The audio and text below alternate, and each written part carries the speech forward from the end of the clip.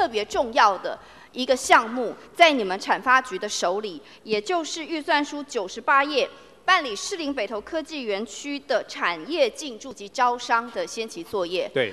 那我觉得这个东西，你们分三百万要做两件事。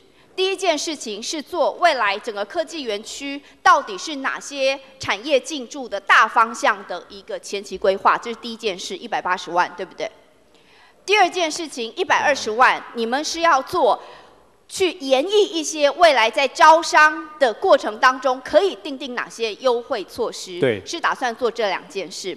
但是我的疑虑就是，为什么我们在未来的产业别，我们要招商的这些重点产业都还没有确定之前，我每每在我们台北市政府的经济发发展会议，或者是你们产发局发布的新闻资料，都一再的已经 announce。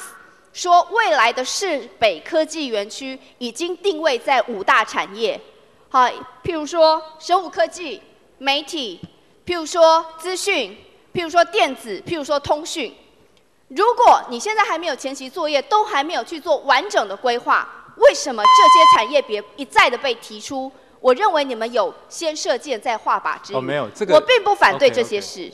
我也不反对这些产业进驻，但是我要求的是，你们要详实去评估，而且针对招商要做一个完整的通盘的研议，创造出一个产业发展的可能性，这才是重要的事。你要不要回应一下？好。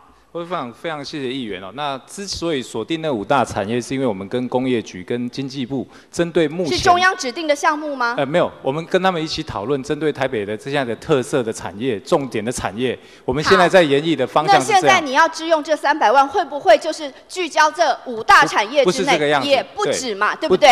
会有更大范围。所以我说你们要特别注意，如果你们已经先射箭再画靶，那去做整个全盘演议已经没有意义了。那个拉。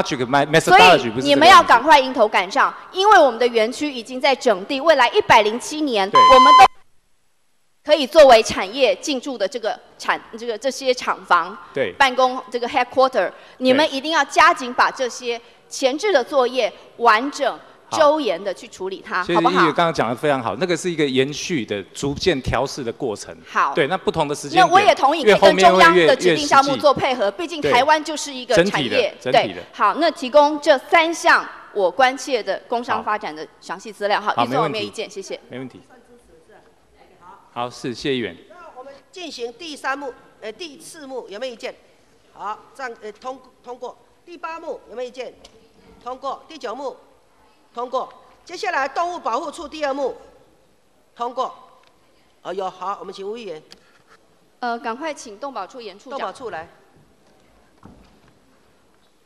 我想这个是防疫检验业务，那我必须在预算给予你们之前，我要先确认一件事情，因为我看到预算书针对整个狂犬病的疫苗注射是分了三四笔的预算在编列。数字都不大，加起来不到五十万，但是。